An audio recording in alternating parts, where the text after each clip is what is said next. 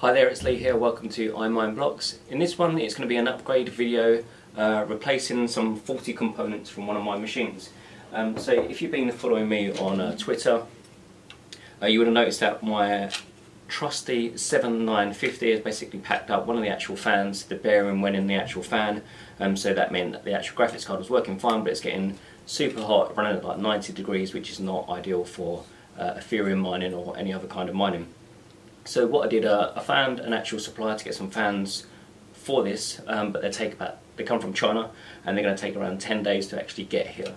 So I thought, in the meantime, I don't really want to be without an actual uh, mining graphics card. Um, one other thing as well with this particular uh, graphics card, it's also quite power um, hungry compared to the much newer versions of uh, graphics cards as well. So that's one of the reasons for getting it replaced. So with this one, what I'm going to do is replace the fans and then basically sell it as a used um, graphics card or maybe keep it as a spare one, something like that. What I decided to do was uh, pick up an actual replacement. So you might have just seen my unboxing video before this. So it's we're going with the RX 570 and it's the 4 gigabyte version. Um, and this is the actual graphics card here. So it's the MSI Armor RX 570. looks pretty nice and I think it's going to do the job well. So I decided to go with this one mostly from a, a price to performance uh, ratio was really good. So I've seen a few other uh, videos and specs for this actual graphics card and I'm kind of expecting to get around about on stock clocks probably around about 23 maybe 24 mega hashes per second on stock clocks. Um, we'll come on to BIOS modding and stuff like that later. Um, so that's comparable to the RX 470 um, I know that these cards use slightly more power than the uh, 400 series um, but in this particular office it shouldn't make too much difference so I thought, yeah, we'll go with the, uh, the 500 series and then we'll basically see how we progress on from there. So the remainder of this video, I'm going to quickly fit this into a Worker 3, which is one of the machines that you would have seen in my previous uh, videos. And um, then I'll go through and what we'll do is we'll do like a performance comparison uh, comparing this graphics card to my existing RX uh, 470. And then we can compare the two and we'll see which gives you the best uh, bang for your buck, so to speak. So uh, let's get it fitted and then we can do some tests on it. Okay, so the uh, GPU's in there. Uh, what I was saying before in the previous section, so you can see on this RX uh, 470, it's just got a 6-pin PCI Express power connector. Um, on this new 570, it actually has an 8-pin connector. So really it's going to be pulling more power through the actual power supply connector rather than the actual PCI slot. So um, I think some early reports of the Fire 470 series, they was um, underpowered, uh, particularly put a lot of stress on the actual motherboard, so I think that's why they've upgraded it and put a 8 pin connector there. Okay, so our new GPU is in, and you can see the 570 there and uh, 470. Okay, so our RX 570 is installed into the machine. I just need to update the actual graphics card drivers uh, I think we're going to go with 17.7, I think that was the, one of the versions that I heard uh, being used. So I'm going to update the drivers and then what I'll do is a, a screen share and I'll show you the actual uh, performance of this graphics card uh, when mining. Okay guys, so a few hours have passed since the actual last section and um, I was doing the actual installation of the new graphics card and I've had a real uh, difficult time with it. So as it turns out, obviously unknown to me, uh, AMD has actually not released any drivers for the 500 series cards for Windows 8.1 which is the uh, version of Windows that I'm actually using. So I have gone through, I've tried lots of different versions, I've tried using the Windows 10 drivers, I'm just about to try the Windows 7 drivers, um, but I didn't actually realise that until after you know a couple of hours of uh, trying and testing and just, just couldn't work out what it was. So I've actually taken out the actual um, RX 470, I've put the graphics card into different slots and stuff like that. Um, but it turns out it's just an actual driver issue. AMD has not released a driver for Windows 8.1. Um, so normally it would be just a case of either updating the Windows um, but I know when I've done that previously and the reason why this particular machine runs on Windows 8.1 is because I had issues before on some of the other mining software and things like that.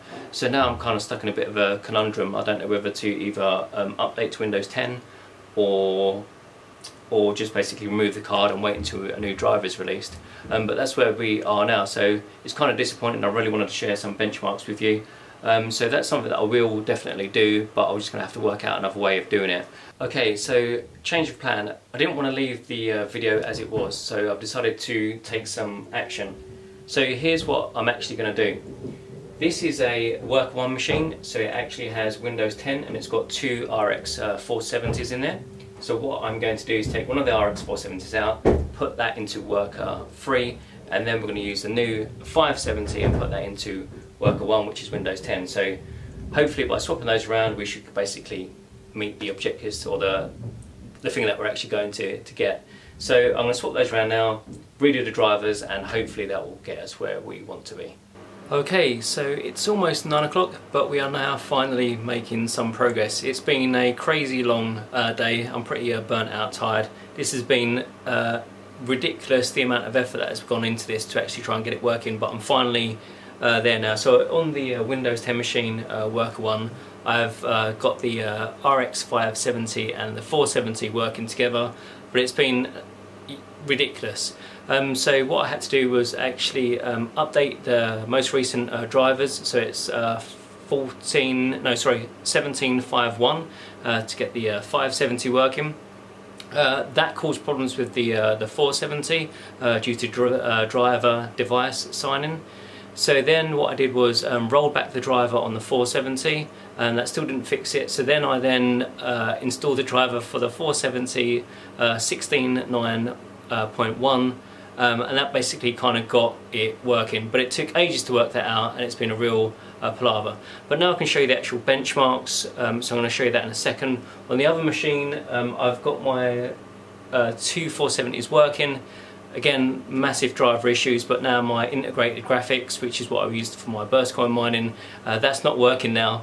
So um, it, so if you're thinking of doing this, basically just just don't just don't even bother. Either go with 400 series or 500 series. Don't try and mix the two. It's it's honestly not not worth the uh, headache. Um, but anyway, uh, I'll show you the benchmarking finally. Okay, so finally we are on to the benchmarking part of this um, day. It's been quite an experience. Anyway, so we've got GPU Z running. I've got it set up for both of them. So on the left hand side you can see the all the details for the RX 570 and on the right hand side you can see all the details for the RX 470 so what I'm going to do is I'm going to fire up the Ethereum miner so I'm using Claymore's uh, dual miner but I'm just going to run it on Ethereum only mode and uh, I'll just show you the difference between the two so I've got the the RX 470 is modded but I'm just going to run it at stock clocks the only other difference between the two is I've got the power limit set to 25% increase on both of the cards uh, reason being is my 470 runs uh, particularly badly without any increased um, power. Um, so I've just done that to kind of level the playing field between the two of them. Um, if I don't increase the power limit, um, this GPU will run, uh, the clock speed will run about 600 megahertz, um, nowhere near 1200, so just make you aware of that. So let's start up the Ethereum miner and we can see how the two compare. So like I said, I'm just going to run it in Ethereum only mode. Uh, by the way, this is my batch file just so you can see. Uh, really basic. So I'll fire up the Ethereum miner. Just show the uh, sensors on each of the uh, GPU Zs. The right hand one was the uh, 470. So the Claymore's uh, miner has just started up. GPU 0 is the 570 and GPU 1 is the 470.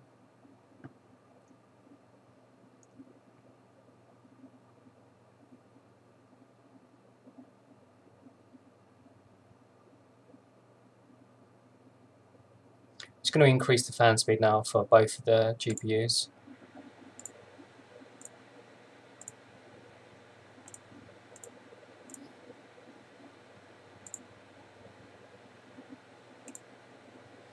One big difference that you do notice between two of these um, devices is that my 470 with the single tumbler fan makes a hell of a lot more noise than the dual fan design. It's probably about twice as loud, maybe three times as loud. But anyway, we are mine away. So like I say, GPU 0, this is our new 570. And GPU 1 is the modified 470 running at stock clocks.